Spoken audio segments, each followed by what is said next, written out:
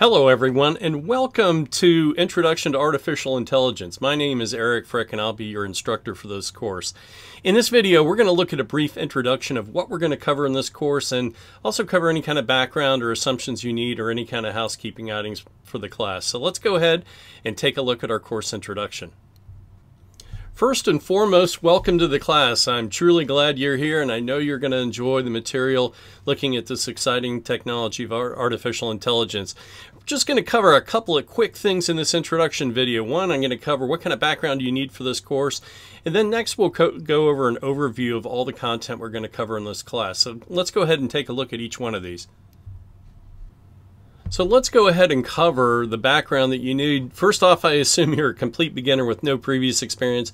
Don't worry about it. I'm not going to cover this course with a bunch of technical jargon. If I do have technical jargon in here, I'll try to explain it to the best of my ability. I intend for this course to be for beginners and to give you the background that you need to understand all the developments that are going on in AI right now, and it is a lot of them. You can also be a seasoned IT professional, but maybe you just haven't kept up with the developments in, in, uh, in AI, and this course is for you as well that I can show you the different areas that of research that are going different products are being developed, and really form up what's going on in this area of information technology today. So let's go ahead and look at our course contents now. Okay, let's take a brief look at our course contents here. There are eight modules in this course. Module one is the introduction, where we're going to look at some of the background for the course, the history of AI in module two.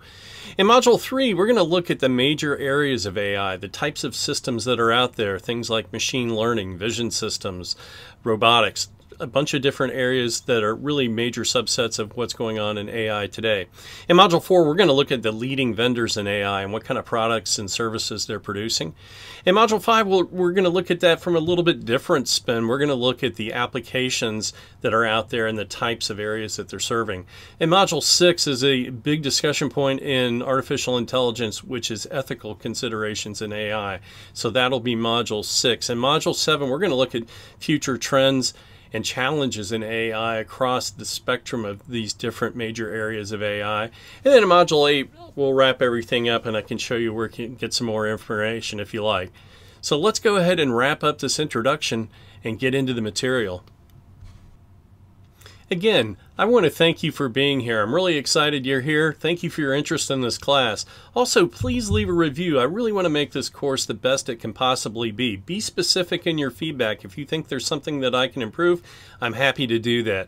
And also send any feedback. I'd love to hear from you. You can contact me at sales at destinlearning.com. Well, that's it for our brief introduction. I'll see you in the next lesson. Thanks again. Bye-bye.